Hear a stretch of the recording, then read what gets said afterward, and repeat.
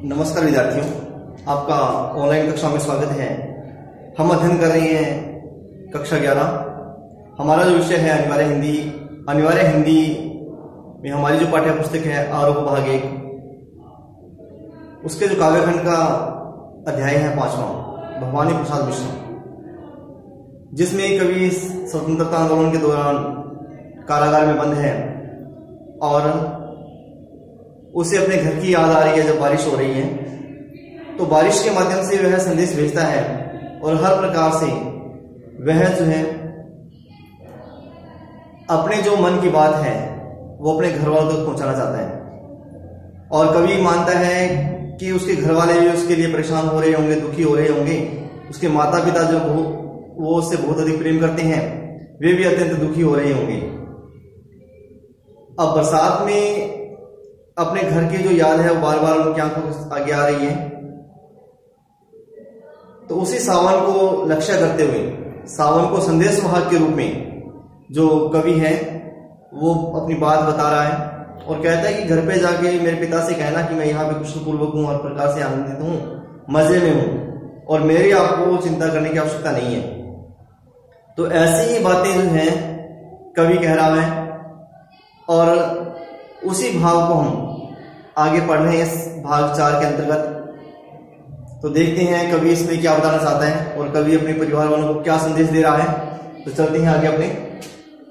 जो इनके द्वारा रचित रचना है, घर की याद और उसका भाग जो चार है उसमें। हे सतीले हरे सावन, हे कि मेरे पुण्य पावन, तुम बरस लो वे न बरसे पाँच को वे न तरसे। अब देखिए, पांचवा इसमें जो बताया गया ये जो पांचवा शब्द है, ये अपने लिए कहा गया पाँचवें पुत्र थे ये।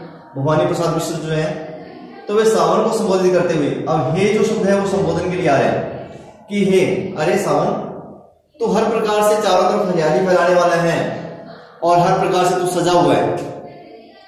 तो हे कि मेरे पुण्य पावन, कि तुम मेरे पुण्य पवित्र जो है, कर्मों का फल है, तुम बरस लो नए वे बरसे, पाँच वे को वे न तरसे, कि तुम बरस लो, कि तुम्हारा तो काम ही बरसना है, तुम बरसोगे नहीं। तो प्रकृति में हरियाली किस प्रकार से आएगी?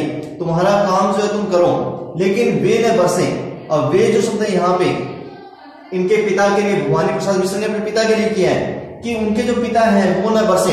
न बरसे मतलब कि उनकी आँखों में से अपने पाँचवें पुत्र के लिए आँसू नहीं आए, वे रोए नहीं। पाँचवें को वे न तरसे और वे पाँचवें पुत्र के लिए वो तरसे नहीं। व्याकुल नहीं हो, पीड़ित नहीं हो। मैं मज़े में हूँ, सही है। घर नहीं हूँ, बस यही है। अब कवि इसमें कहता है, मैं मज़े में हूँ, यही सही है। अब संदेश वाहक बनाया है किसको? सावन को। तो सावन जो है, उसको ये कह रहे संदेश वाहक के रूप में कह रहे हैं कि तुम घर पे जाना, मेरे पिताजी से कहना कि मैं मज़े में हूँ, सही है। कि मैं यहाँ पे सही हूँ और मज़े में हूँ। और हालाँकि यहाँ पे मुझे हर प्रकार से जो अत्याचार है, अंग्रेज़ों को सहन करने पड़ रहे हैं। लेकिन तुम घर पे जाके ऐसा कुछ मत कहना। तुम कहना कि मैं यहाँ पे मज़े में हूँ और बिल्कुल सही हूँ। घर नहीं हूँ, बस यही है। घर पे नहीं बस इतना ही है। बाकी यहाँ पे सारी जो सुविधाएँ हैं, जो घर पे मुझे मिल रही थी, वो सब सुख सुविधाएँ मुझे यहाँ पे मिल रही हैं। किंतु यह बस बड़ा बस है।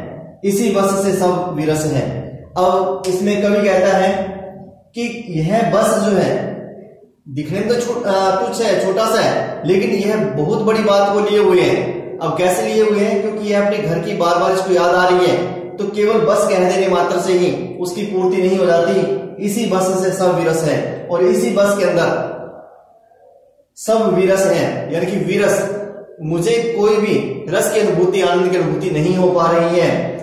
तो अपने अगर इसमें देखते हैं। तो बस शब्द जो तीन बार इसमें आया हुआ है। तो यहाँ पे यमक अलंकार का प्रयोग किया, शब्द एक जैसे और अर्थ एक जैसे ही इनका। तो यमक अलंकार का ऐसे प्रयोग किया गया तो यहाँ पे जो ऊपर वाले में, इसमें अनुप्रास अलंकार का प्रयोग किया गया है। आगे बढ़ते हैं अब आगे इसमें। किंतु उनसे यह न कहना, उन्हें देते धीर रहना। अब देखो, अभी संदेश वाहक के रूप में कवि जो है इसको सावन को कह रहा है कि तू घर पे जाए तो ऐसा कहना, किंतु उनसे यह न कहना। तू यह मत कहना क्या नहीं कहना कि जो उसकी वास्तविक स्थिति है, उसके बारे में बिल्कुल मत कहना कि यहाँ पे किस प्रकार से उनको प्रताड़ित किया जा रहा है दुखी किया जा रहा है, और तुम्हारा पुत्र, पांचवा पुत्र जो है, वो वहाँ पे जेल में, कारागार में दुखी है तुम्हारे लिए। ऐसा कुछ भी मत कहना। उन्हें देते धीर रहना, और तुम उन्हें धैर्य बनाते रहना कि वो बिल्कुल अच्छा है, हर प्रकार से वहाँ पे वो वहाँ पे रह रहा है, उसे किसी प्रकार का को कोई कष्ट नहीं है।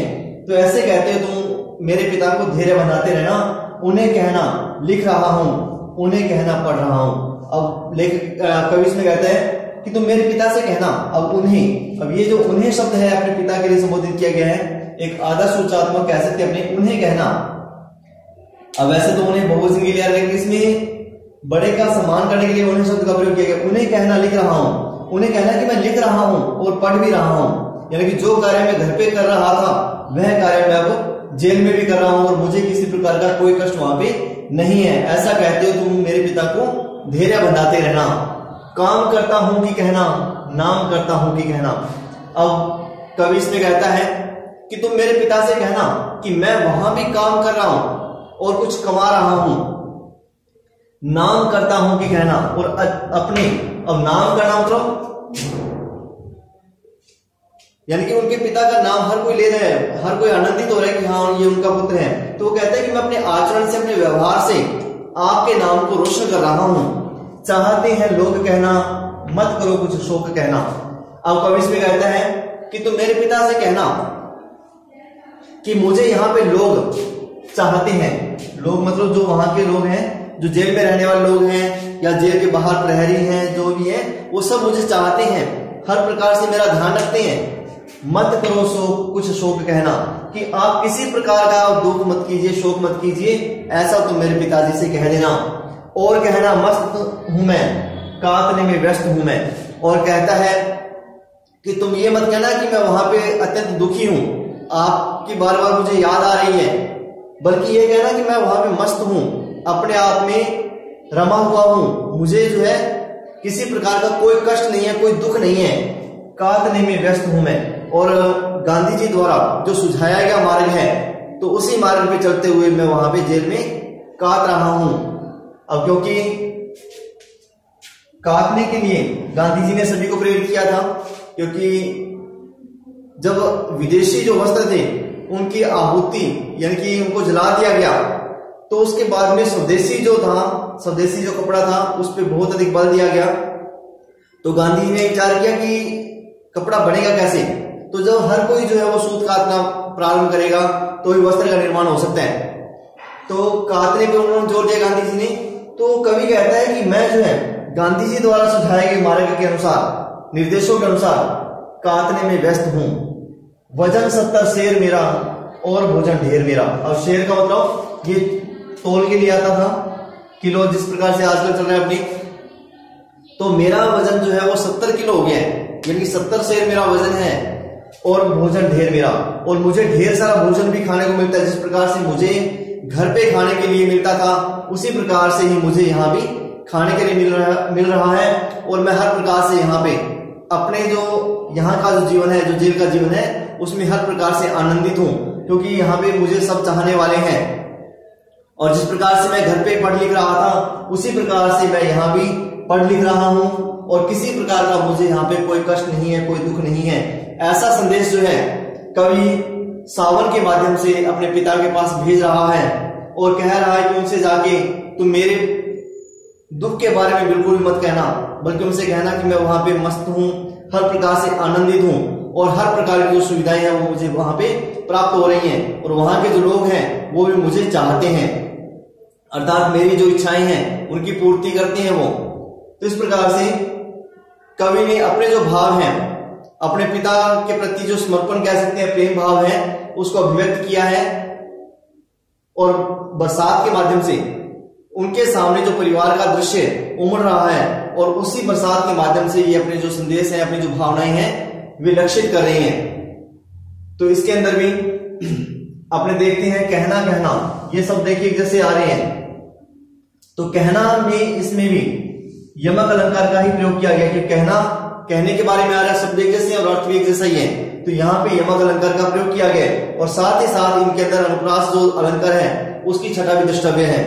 तो ये था हमारा अध्याय पाँच भवानी प्रसाद मिश्र द्वारा रचित घर की याद, जिसके हमने भाग चार का अध्ययन किया है और आगे भी हम इसका एक भाग है पांचवा। तो उसका भी अध्ययन करेंगे। तो ये था हमारा भवानी प्रसाद मिश्र द्वारा रचित घर की याद।